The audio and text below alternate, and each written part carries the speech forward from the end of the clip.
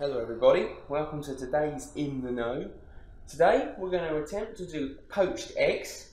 I've got a pan of water just on the cusp of boiling. I'm going to drop it down one level just so it's just underneath boiling and very warm.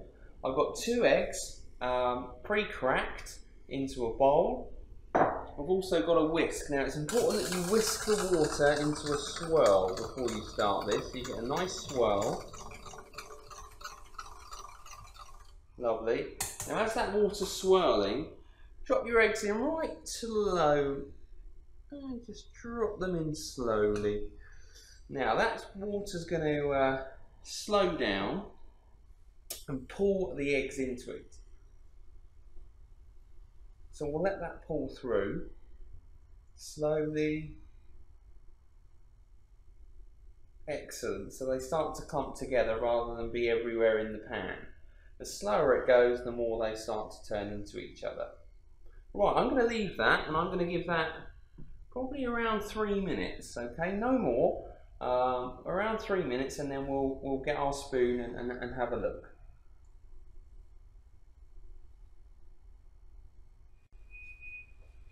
Okay, my timer's going off. Let's turn the timer off. Let's get a metal spoon. Let's take a look at the uh, poached eggs. So if we just separate them there. Grab our first one. Put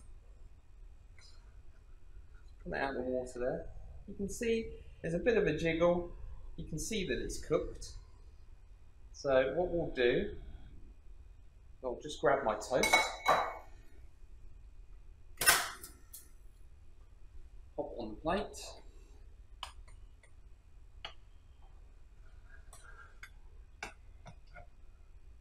So one poached egg and my other.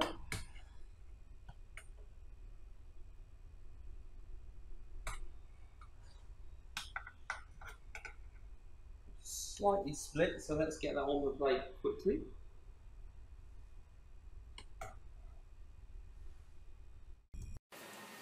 Right, now my toast is not done completely, but as you can see, as we cut in, there's nice, nice running through there. The egg is cooked. Um, yeah, excellent. Let's have a, let's have a taste.